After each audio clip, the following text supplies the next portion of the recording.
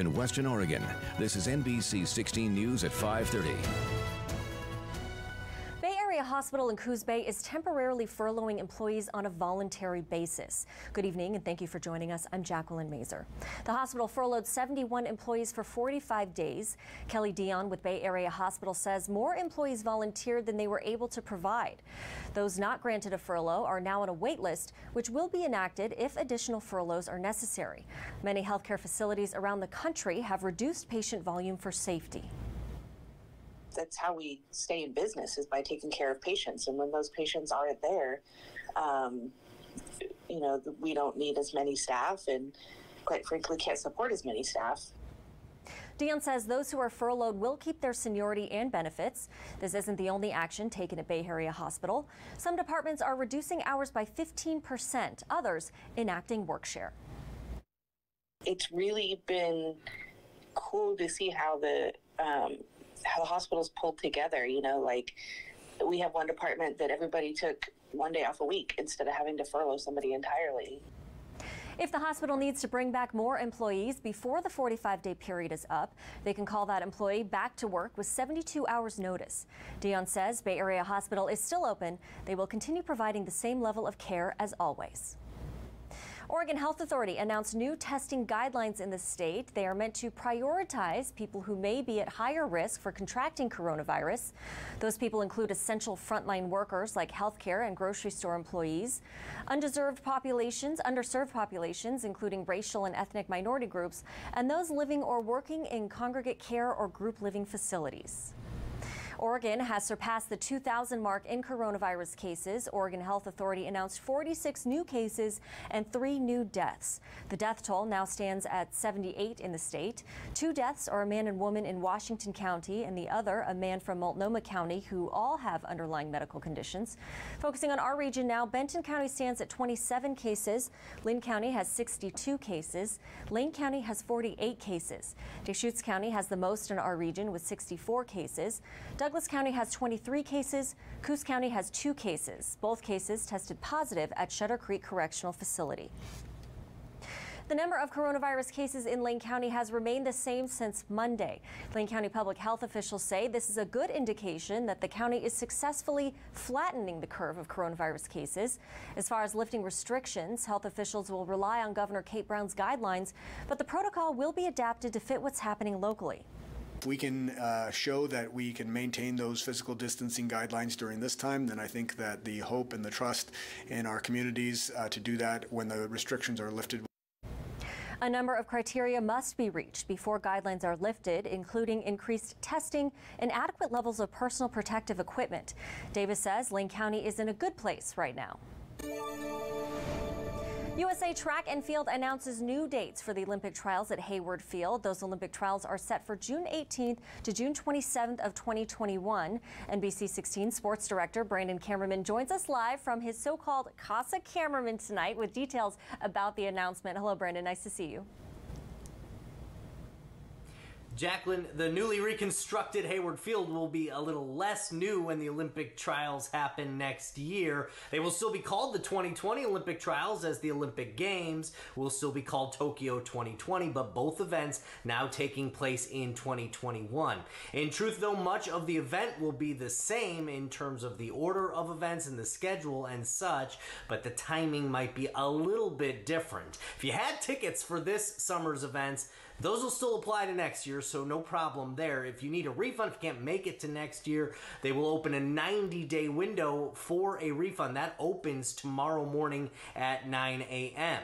So it just continues to push off the opening of the new Hayward Field, which was supposed to debut next month for the Pac 12 championships, followed by the high school state track and field meet. Obviously, both those events were canceled. Next up on the docket was the Olympic trials. Obviously, now we know that that postponed until 2021. So the next event that is actually still technically scheduled for the new Hayward Field is the Prefontaine Classic, which is scheduled for the beginning of June. That hasn't been canceled yet, but uh, is expected that it could be canceled or postponed at some point in the future. But as of now, the Olympic trials are officially scheduled for June 18th through 27th of 2021. For the fourth straight Olympics, they will be right here in Eugene.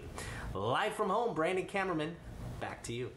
All right, thanks, Brandon. As you mentioned, I mean, this will be one of the first times Hayward Field will actually be utilized, so that's exciting stuff there.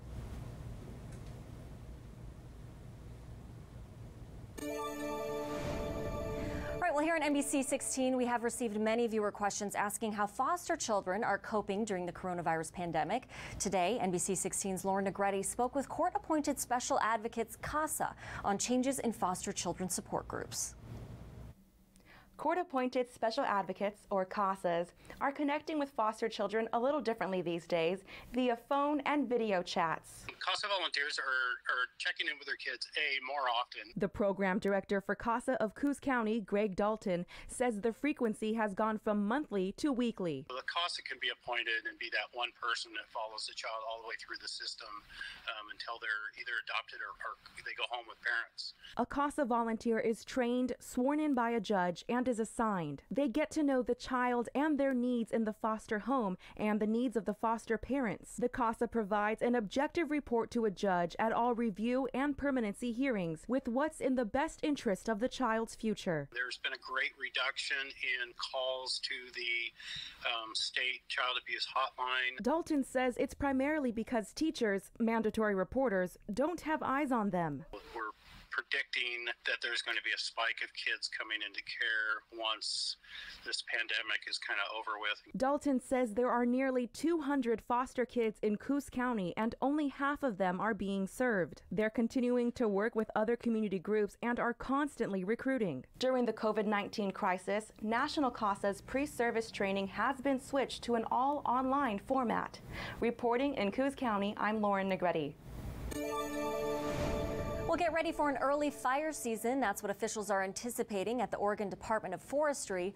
They're not only gearing up for potential wildfires amid severe drought in parts of Oregon. NBC 16's Kelsey Christensen tells us how they are now tasked with additional preparation due to the coronavirus.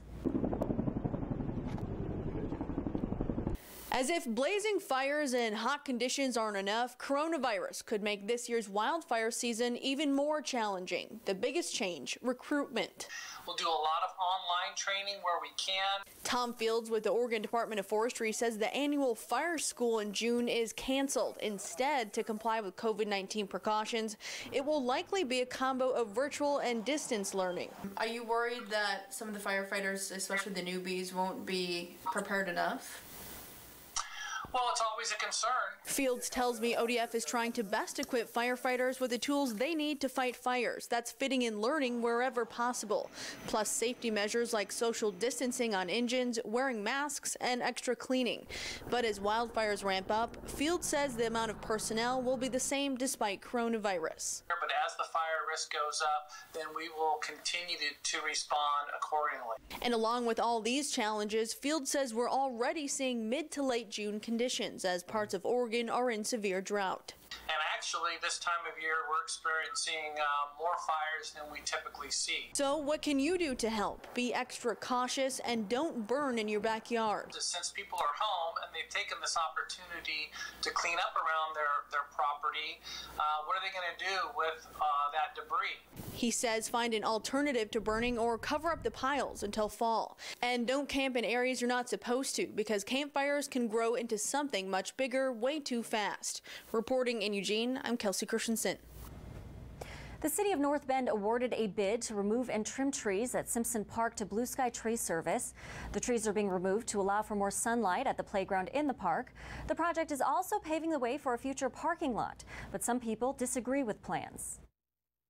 Well, the sun moves during the day. Are you going to take out all the trees that shade the park, you know, shade the playground a little bit at some time of the day? To me, that's not appropriate at all.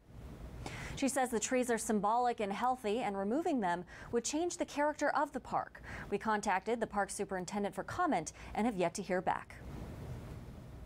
And of course, when we are not on air, you can still keep up with us. Make sure to visit our website, NBC16.com, our Facebook page at KMTR News, and download our app, KMTR News, on your mobile device.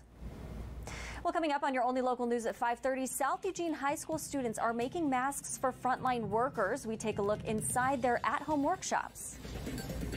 Tonight, we'll look at how the COVID 19 outbreak has exposed long-standing infection control problems with many nursing homes. Also, as parts of the country slowly open up, what's the risk of a second wave of illness? On NBC Nightly News.